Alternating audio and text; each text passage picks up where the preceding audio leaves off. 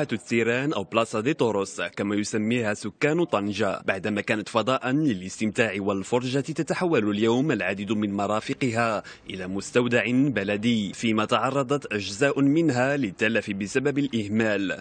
البناية ما زالت تنتظر مشروعا فعليا لإصلاحها وترميمها على نحو يليق بما تمثله من ذاكرة تاريخية لقاطني المدينة.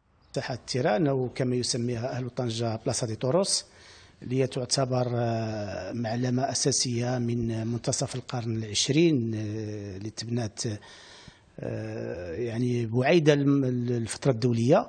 تعتبر من أهم المعالم على المستوى في المجال الحضري أيضا على المستوى الهندسي باعتبار أنها تعتبر الآن الوحيدة من نوعها على مستوى المغرب. المعلمة آه، تعتبر جزءا لا يتجزأ من المجال المجال الجغرافي والمجال السياسي أيضا لطنجة وكذلك هي مكون من مكونات الفضاء العمراني لطنجة. قبل أسابيع قليلة أدرجت ساحة التيران ضمن المآثر التاريخية من طرف وزارة الثقافة.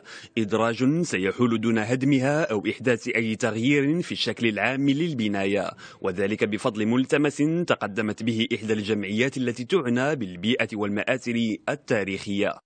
لها آه، مجموعة من المميزات لا على المستوى المعماري ولا على المستوى الجمالي آه، واللي كتبوها آه، ولا على المستوى ديال الندرة باعتبارها من آخر ساحات التيران المتواجدة بالمغرب وبالقارة الإفريقية. لهذا فالتثمين ديال هذه المعلمة من خلال ترتيبها كشق أول لضمان الحماية القانونية لهذه المعلمة هو مسألة أساسية خاصة بأن